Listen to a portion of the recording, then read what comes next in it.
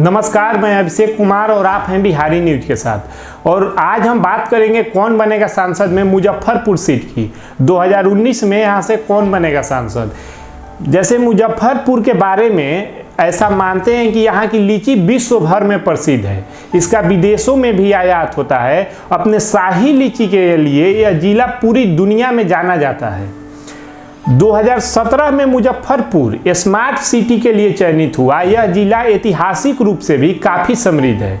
जैन धर्म के 24वें तीर्थकर भगवान महावीर का जन्म वैशाली के निकट बसो कुंड में लिछवी में कुल में हुआ था। वर्तमान में अगर बात करें तो अभी यहाँ से सांसद है भाजपा के अजय निषाद। मुजफ्फरपुर लोकसभा क्षेत्र में कुल छह विधानसभा क्षेत्र है। मुजफ्फरपुर नगर कुढ़नी सकरा बोचहा गायघाट और औराई।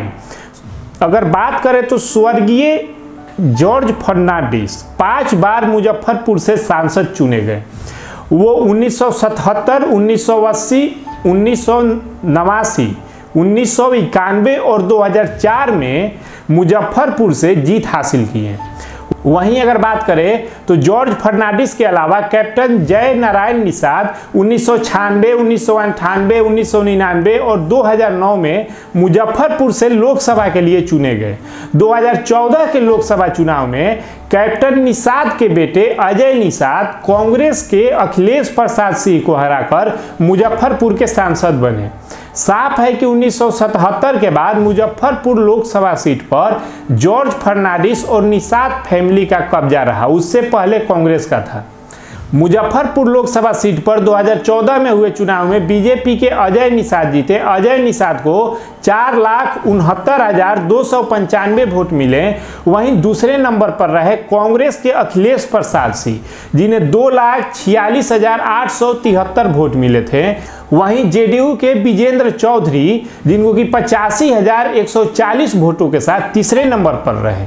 इससे पहले 2009 के चुनाव में कैप्टन जयनारायण प्रसाद निषाद ने जेडीयू के टिकट पर यहाँ से चुनाव जीता था 2009 के चुनाव में। इस सीट से पाँच बार जीतकर जॉर्ज फर्नांडिस लोकसभा पहुँच गए, जबकि कैप्टन जयनारायण प्रसाद निषाद चार बार इस सीट से जीते। वहीं इस बार एनडीए से फिर से अजय निषाद व महागठबंधन से वीआईपी के डॉक्टर राजभूषण चौधरी मैदान में है। वहीं अगर बात करें यहाँ की मतदाता की तो सोलह लाख उनतीस हज़ार सात सौ बारह कुल मतदाता है, जिनमें पुरुष मतदाता आठ लाख नब्बे हज़ार पाँच सौ छब्बीस। वही महिला मतदाता की बात करें तो सात लाख उनचालीस हज़ार एक सौ छियासी महिला मतदाता है। अब 2019 में कौन बनेगा मुजफ्फरपुर से फिर से सांसद? ये देखने वाली बात है और ये आपके वोटों पर निर्भर करता है। अगर आपको हमारा ये वीडियो अच्छा लगे तो इसे आगे शेयर कीजिए और साथ ही बेल आइकन पे क्लिक कीजिए और फेसबुक पर देख रहे हैं तो वहाँ भी लाइक कीजिए। धन्यवाद।